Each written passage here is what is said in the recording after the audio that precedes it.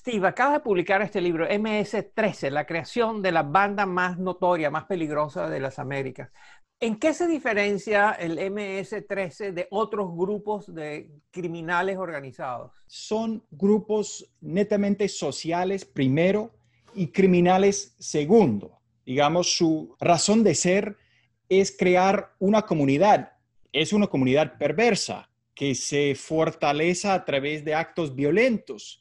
Trafican drogas, eh, están en trata de humanos, eh, tiene una variedad de, actividades criminales que, les hace peligrosos. Pero su fin es ese grupo, crear y construir ese grupo. Tú le das mucha responsabilidad al gobierno de los Estados Unidos por haber fortalecido o estimulado sin querer la formación de esta banda criminal.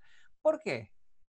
Se hace una serie de políticas públicas eh, tanto a nivel exterior como a nivel interior, que crean todo, todo el terreno fértil para que crezca cualquier pandilla, ¿no? no solo MS-13, sino otras pandillas.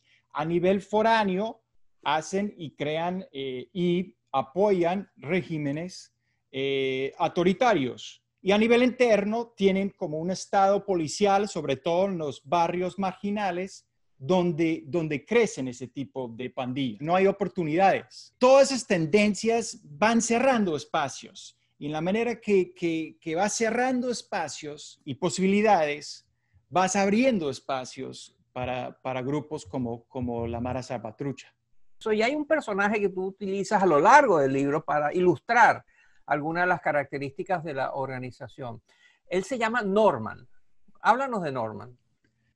Norman es una persona eh, que para mí representa eh, la Mara Salvatrucha, porque la familia de él tuvo problemas durante la guerra civil, entonces se desintegran la misma familia nuclear y él busca una familia eh, extra o adicional, y eso es la Mara Salvatrucha. Y su trayectoria dentro de la Mara Salvatrucha es representativa de muchos, o sea, se integra con mucha emoción se integra muy profundamente en las actividades e incluso está encarcelado durante una temporada y luego quiere salir. ¿Y dónde está él hoy en día? No puedo revelar dónde, dónde vive, o sea, es parte del trato que, tengo con él, eh, porque su vida está en peligro, porque huyó de la pandilla, huyó de, de El Salvador para vivir en Estados Unidos. Tú mantienes que hay muchos mitos alrededor de la Mara Salvatrucha de MS-13. Eh, ¿Cuáles son los principales mitos, las concepciones equivocadas que tú crees que hay en esto? Creo que el principal mito frente a la MS-13 es que es un cartel de drogas. Varios miembros han intentado ingresar en lo que es el narcotráfico internacional y nunca han podido porque realmente hay presiones internas para que no haya éxito de una sola persona. Y eso para mí es el mito más grande de la MS-13. El uh, presidente Donald Trump ha mencionado varias veces a la MS-13 y lo considera una amenaza muy grande, los llama animales, los ha puesto en el, uh, muchas veces en el centro de la conversación nacional. ¿Qué piensas tú de eso?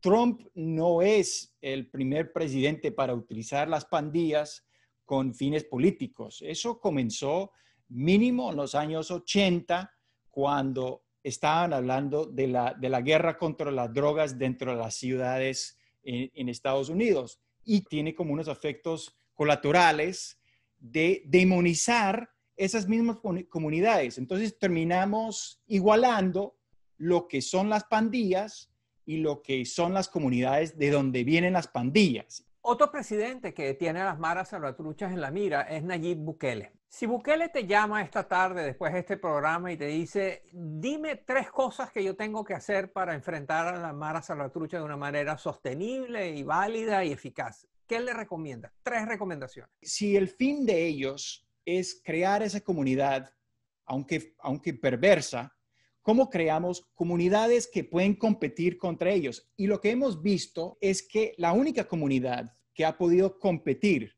es la, iglesia, principalmente la iglesia evangélica, porque, digamos, tiene eh, unas reglas parecidas y otras cuestiones parecidas. Y esa es una comunidad. El énfasis siempre es en la parte represiva del Estado y lo que se olvida son todas las cosas extras que se necesita en cualquier comunidad. No existe una red ni, ni, social ni económica para esas personas que, que, están viviendo en la miseria.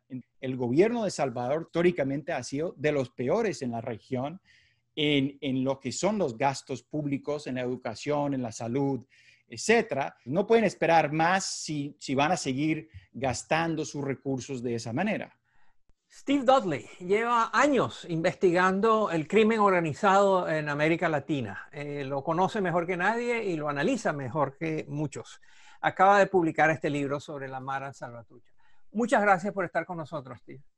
Moisés, muchísimas gracias.